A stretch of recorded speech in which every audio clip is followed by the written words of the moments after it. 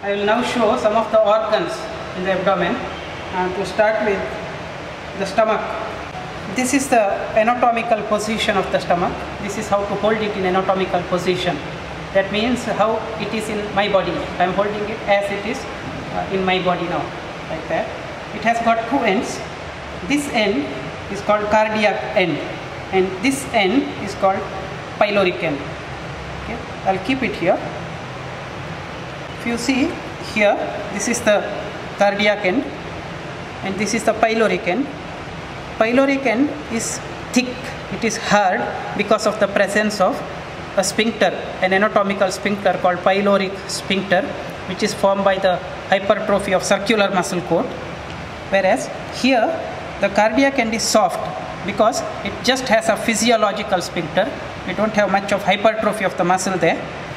And uh, this end of the stomach is situated at the level of 11th thoracic vertebra, and this end is situated at the level of first lumbar vertebra. Transpyloric plane passes through this end and uh, it is at first lumbar vertebra. Then there are two curvatures to the stomach. This is lesser curvature. Here, this is the lesser curvature, and this is the greater curvature. This is the greater curvature of the stomach.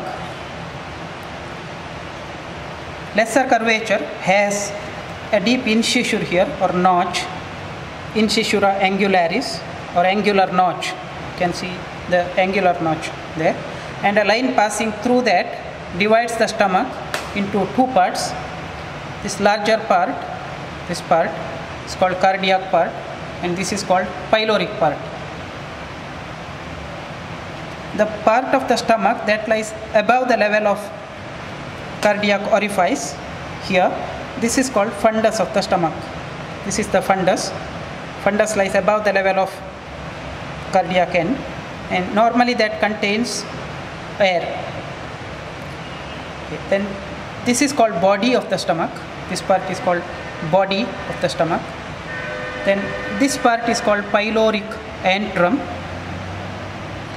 and this part called pyloric canal. So we have fundus, body, pyloric antrum and pyloric canal as the parts of the stomach.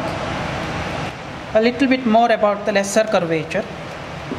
You see the lesser curvature here and this is the place where lesser omentum is attached and within the lesser omentum we find the branches of left and right gastric arteries. Here the right and left gastric arteries anastomose.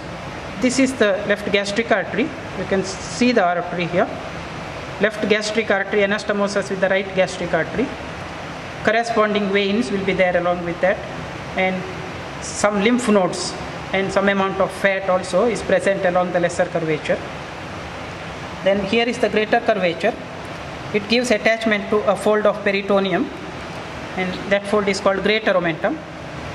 And this greater omentum has right and left gastroepiploic vessels. So any vessel running close to the greater curvature here would be right gastroepiploic artery and any artery running here along the greater curvature is the left gastroepiploic artery, the anastomose here in relation to the border.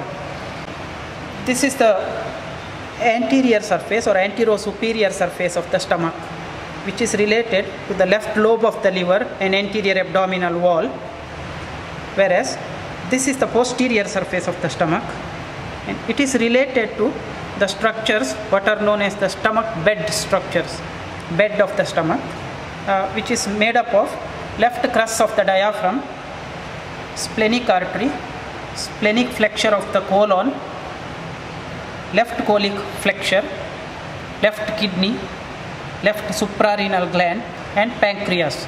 These are all the structures forming the bed of the stomach. Here the stomach is open. This is the interior of the stomach. And if you see inside empty stomach shows folds. And these folds are called rugae. These are the gastric rugae. Most of them disappear when the stomach is full. In this stomach we don't have many rugae. Uh, that means the time of death the stomach was full here stomach was semi filled that's why we have some rugae there and upon closer examination, we can see some pits there, what are known as gastric pits on the rugae or between the rugae. We see some small holes. These are the gastric pits. And through these pits, the gastric glands open into the stomach